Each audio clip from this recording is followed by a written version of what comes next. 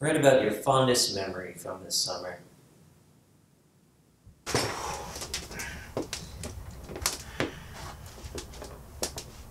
Kobe. Andy, how come you're not writing anything? I need time to think.